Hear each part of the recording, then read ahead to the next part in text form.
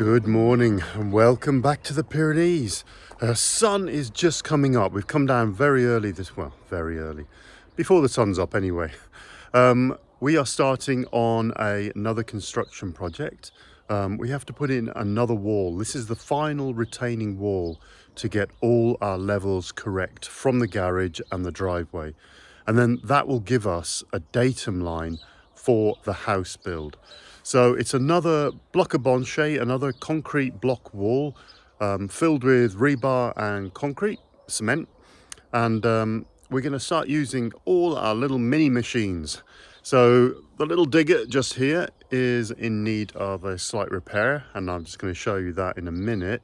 Um, we've got the little mini skid steer that um, we got a couple of month or so ago. Yeah, probably a, a, just over a month ago and the little uh, Deleks mini dumper.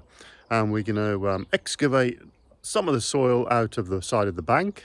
And we're also going to dig the footings in readiness to put in some forming boards and get a footing poured, hopefully by the end of the week. And then we've got a delivery of all our blocks, rebar, everything else um, next week.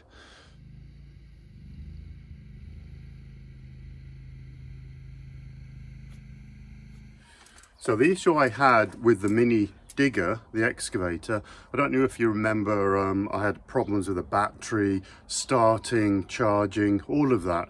Well, I think it came down to just a couple of cables. So this is the uh, original cable that came from the uh, ignition switch and uh, it went basically all the way down underneath the engine and up to the starter motor and to the charge controller, the little charger. It's not an alternator, it's just a little solid state box.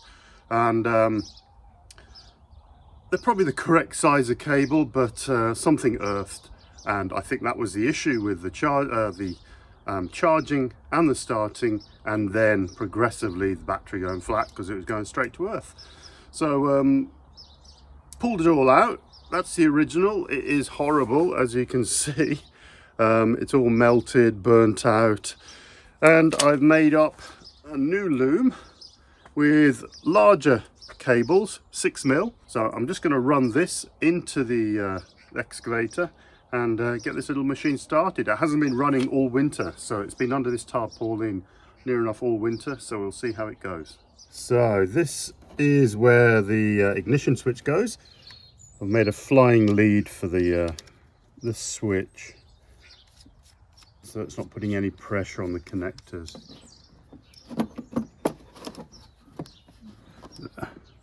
Right, other than a bit of tidying up, I think I've got all my cables in okay, much, much better um, routing it that way. So let's see, after a winter under the tarp, I'm just gonna press down the isolation switch and then, well, let's go. One click, turns him on and then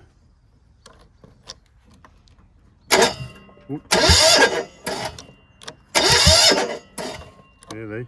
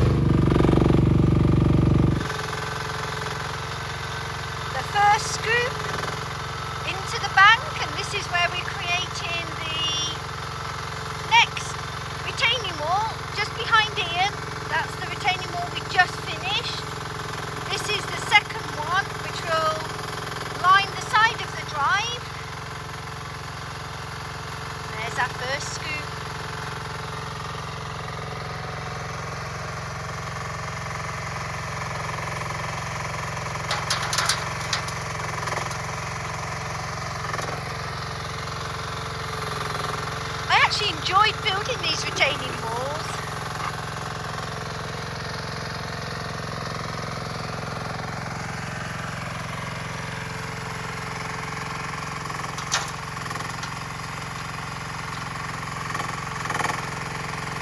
And I know Ian's happy he's got his digger working again, the little mini excavator. Something so simple, that starter switch.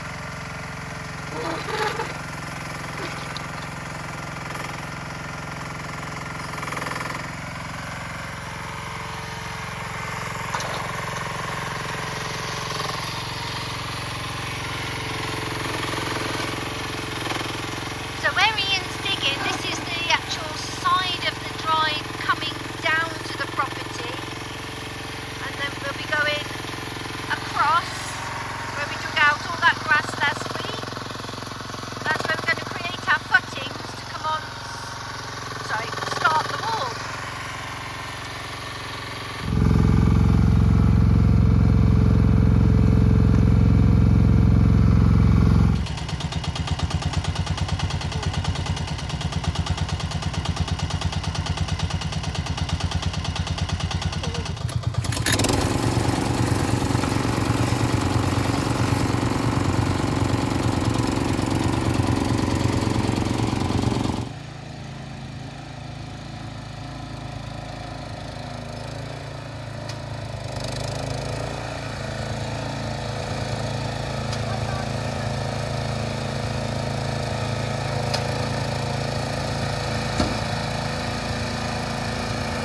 Well, Julie's still getting the hang of the uh, the little dumper, but um, it seems to be going okay. I'm just trying to get uh, munch away at the bank a little bit just to give it um, a line, and then I'll bring in the mini skid and um, square it all off and flatten it all off. And then once I've got a section, um, a nice flat section, I can go in and just dig then the 40 centimeter uh, footing that we're going to have.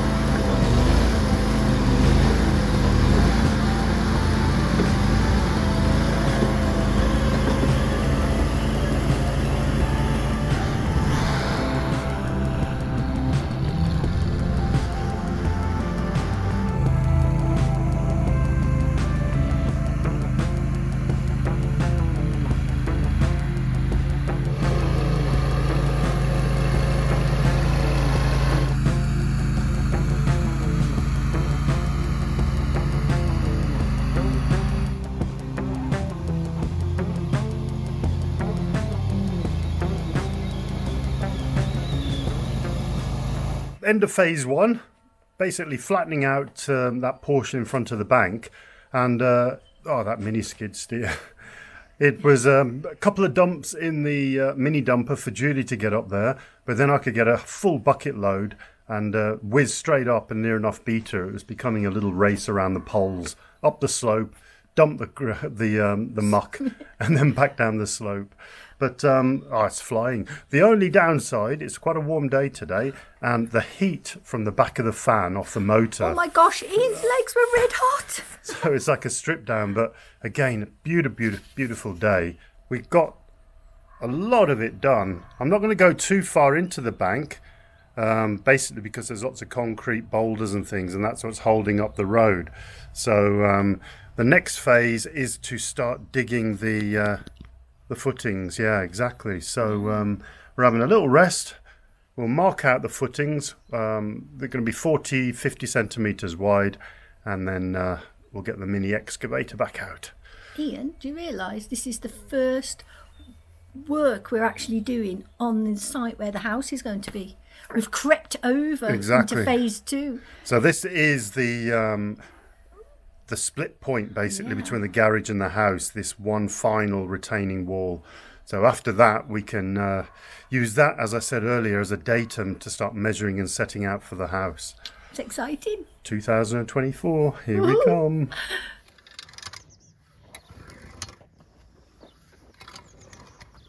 We're just trying to get a flat surface along this line here so we can work out our levels and set a line up to work out how we're doing these footings. Because there is quite a slope on this. So Yeah. it's whether we have to step down or not, or whether I can just dig it in. But once it's nice and smooth, we'll actually be able to see what we're working with.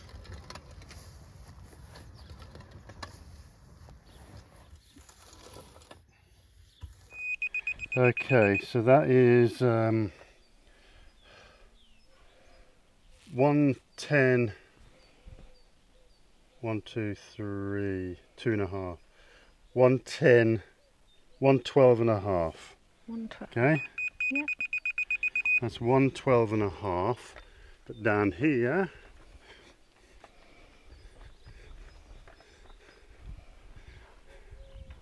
and that is 162. Cool. So say that's 12 and this is 62 that's 50 half a meter difference. Difference. right so now is a matter of putting our string line in just to get some sort of line this is just the rough setting out for our footings once we've dug the footings we can then set it out a little bit more. We're just working out, we're thinking we're going to have steps here, basically from this level up to the garage. This is the sort of lowest point of the wall. So this wall is going to be half a metre, a couple of feet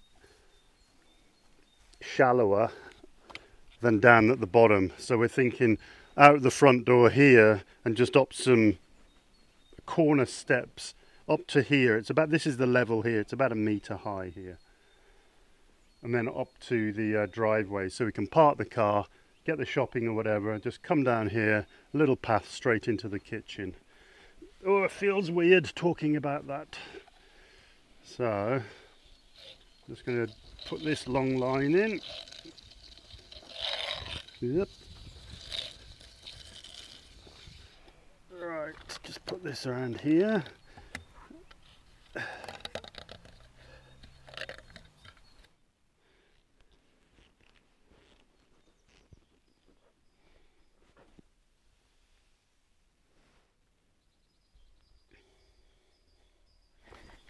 So we will do it. So it's going to be 50. So 25 will be the face of the block.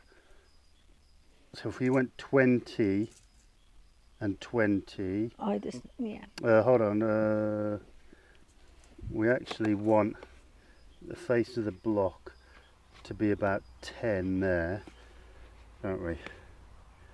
Oh yeah, so it's not coming over here too much. and the drainage. Yeah, um, because we'll put the French drain in. So we will dig out to 50 here. Yeah. So if you blob a bit at the end and at 50, yeah, and then at 50. Okay, and then we'll just, Sporadically. yeah, go. And then you can go down in a long line.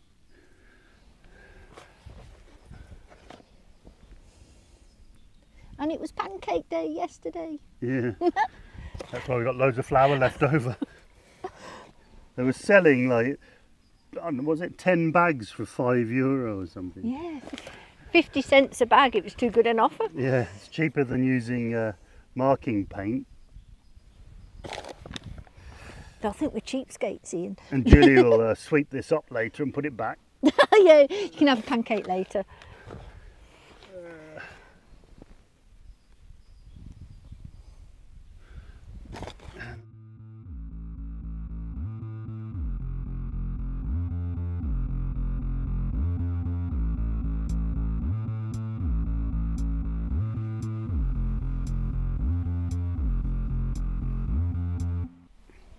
Rid of the string and this pole.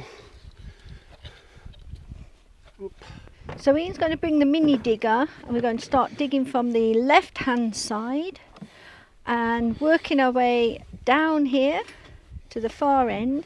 And as Ian digs away, I'm going to be at the side of him with my mini dumper, offloading the dirt back up to our raised area just up there.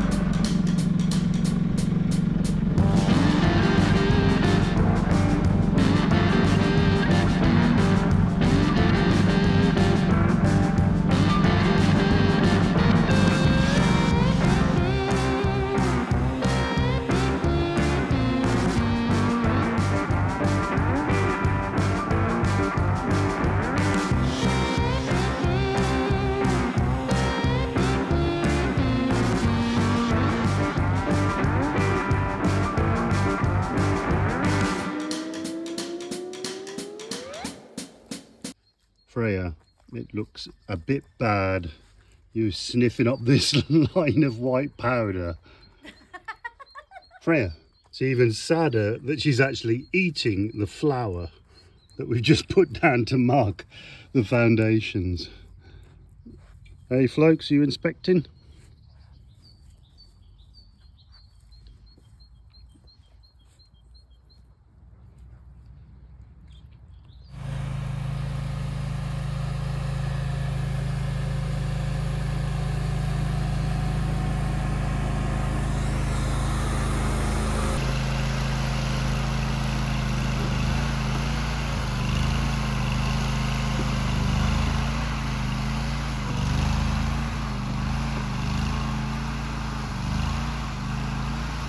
Not always the easiest working with two cheeky little sausage dogs that want to dig as well as their dad.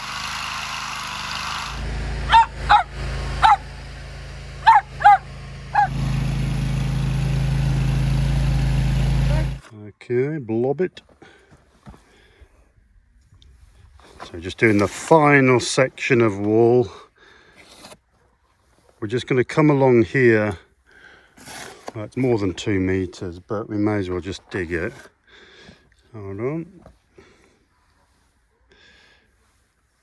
Where are we? So we're just going to start return here because I've just dug it out with all the skid steer and everything up to that point, that yellow post. So um, this is going to be a mini retaining wall here. Basically, because the house is just there. So we'll have the retaining wall here, where the dog is, and then about a metre out, that will be the start of the house. So uh, we'll have a small pathway. So last final bit of digging.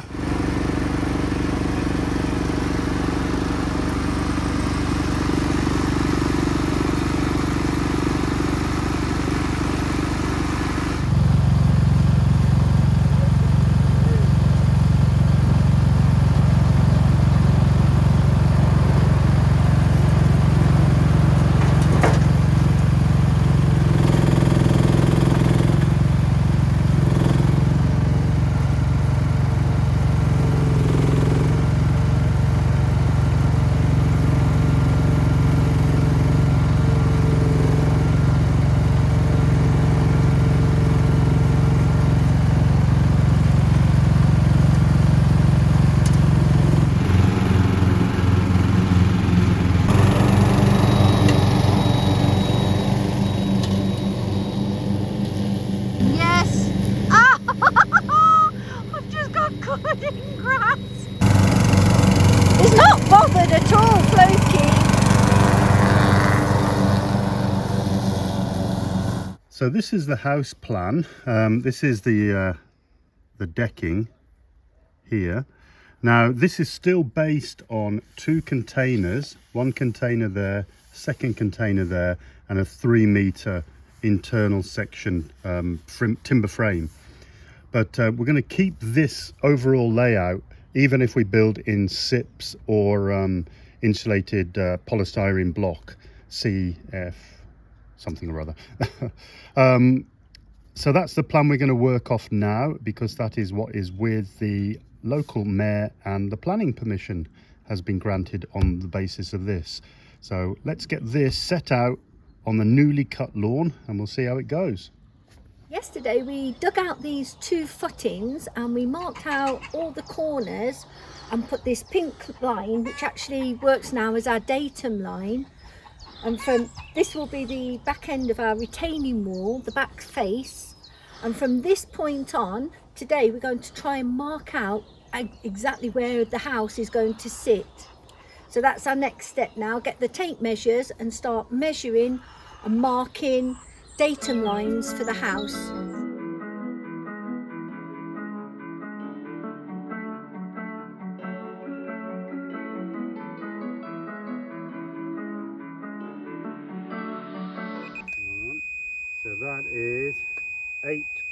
8.1. 8.1. This one, and then we've got to do the inside one there. Yeah. So this one is 7.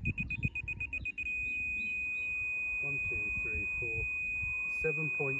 Orientation of the house is like that. So our back door is there with the decking and the kitchen, um, and that is due south. So all our solar panels will be on that side. This is north, it'll be our front door, but basically it'll be really our back door because um, we're not gonna have much of an entrance there. So the difference in height we have got, this is all relative. So my datum is 6.7. At the back here, it's around eight. So down here is 16, 16. So there's a difference of 80 centimeters, just under a meter, three foot from the back or this end of the house to the, to the far side. So we need to dig that out um, like a cheese wedge basically. We need to cut into this like a cheese and just slide this so it flattens it all out and then we'll have a nice deep um, sort of vide sanitaire they're called, a crawl space, um, a mini, a mini um, cellar, I suppose. But um. But the the other point to this is we don't want the house to be Hmm. really high at the field end because we don't want lots of brickwork or anything. We want it to just Yeah. sit nice. so we've got to work out Yeah. that the floor level of the house is going to be sitting on the ground this side but by the time it gets down to this end we're going to be around 80 centimeters off Yeah. but underneath that will be the uh, the crawl space right i think we're there. So um, next stage is to set the form boards on that retaining wall. Um, get all that up and then we're actually going to call in the same contractor that um, excavated for the garage. I'm not going to use my little machines my mini machines to dig all of this earth out. I'd rather have him in here for one hour. It'll take him about an hour. Take all this soil off and then I'll use my machines to move the soil over where we need it over the other side of the um, the flat walled area where we're going to have our um, garden Gardens and everything. so uh, yeah We've got direction and we've moved over. We're, def- we're definitely this side of the plot now. I know and everybody everybody's been looking all our neighbors have been staring down at us saying what are they doing what are they doing because um, they have no idea where the house is going to go so uh, even though it's on all the planning applications. Right form boards next and we're going to do that in the morning so we'll see you tomorrow morning.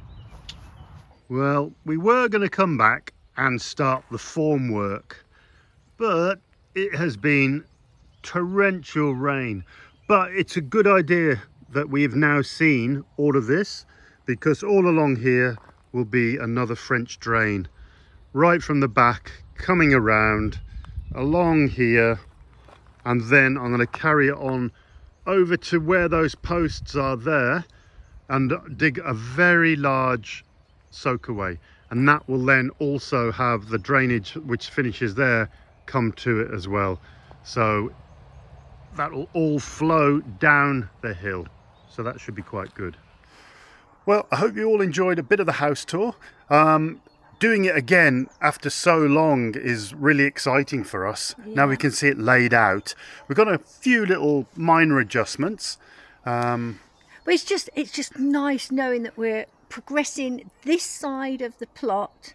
Okay, we've still got work to do over there, but we're actually making progress this side. All our materials arriving on Wednesday this coming week. but we I'm not going to do anything more today because it is a bit of a muddy mess so hopefully it'll dry out tomorrow we'll get the form work in in readiness for all the concrete and the cement arriving on Wednesday and then we can start mixing so um, yep give us our cheeky, Cheeky thumbs, thumbs up, up. and we will see you in the next one where we actually start to build this wall and start excavating more for the house Exciting times. see you then Catch you next week.